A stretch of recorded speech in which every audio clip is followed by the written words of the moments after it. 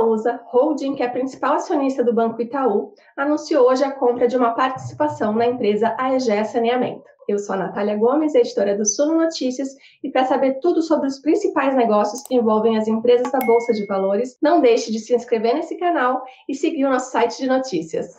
A Itaúsa anunciou hoje a compra de uma participação na empresa AEGE Saneamento por 1 bilhão e 300 milhões de reais. Com isso, a Itaúsa vai passar a ter 8,53% do capital total da empresa e 10,20% do capital votante, que são as ações com direito a voto. Segundo a Itaúsa, esses valores ainda podem sofrer alguns ajustes e a Itaúsa vai buscar esses recursos por meio de uma emissão de dívida de longo prazo. Já para a Egea, a inclusão da Itaúsa como acionista seria estratégica porque potencializa a sua execução do plano de crescimento e também dá mais oportunidades para a empresa criar valor no seu negócio. Com o acordo anunciado hoje, a Itaúsa vai ter o direito de indicar pelo menos um membro nos seguintes órgãos da AEGEA: no Conselho de Administração, no Comitê de Auditoria e também no Comitê de Finanças. Se você nunca ouviu falar da AEGEA, eu te conto um pouquinho sobre a empresa. Ela foi criada em 2010 e ela atua como administradora de concessões de saneamento, operando em todas as etapas é, do ciclo de água, desde abastecimento, coleta, tratamento de esgoto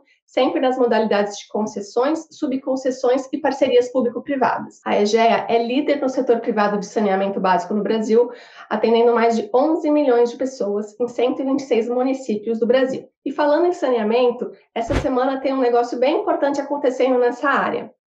É esperado que o leilão de concessão da SEDAI, que é a empresa de saneamento do Rio de Janeiro, ocorra nesta sexta-feira na B3. É esperado que o leilão da SEDAI atraia várias empresas, tanto no mercado interno quanto investidores estrangeiros. As empresas têm até hoje, o final dessa terça-feira, para entregar suas propostas financeiras. No entanto, existem alguns obstáculos para essa operação, o que é bem comum nesse tipo de leilão. Por exemplo, na semana passada houve uma liminar na justiça para suspender o leilão, mas ela já caiu. Então, se tudo der certo, você vai saber mais notícias sobre o leilão da SEDAI na sexta-feira dessa semana. Fique de olho.